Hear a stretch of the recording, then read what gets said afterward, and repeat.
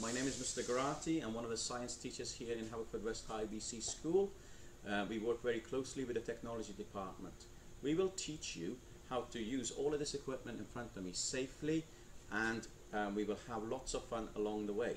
We will teach you how to do things safely and how to create that at home, but don't tell your parents, okay? So, um, some of the other exciting experiments we do includes some bangs and whooshes that are extremely exciting, but you have to know why and how they work. So we have lots of fun, but we learn along the way. Things like this. It's called a whoosh bottle. It's very exciting. I personally will teach you how to do that in, a, in your houses. I look forward to seeing you in September. Okay? Bye.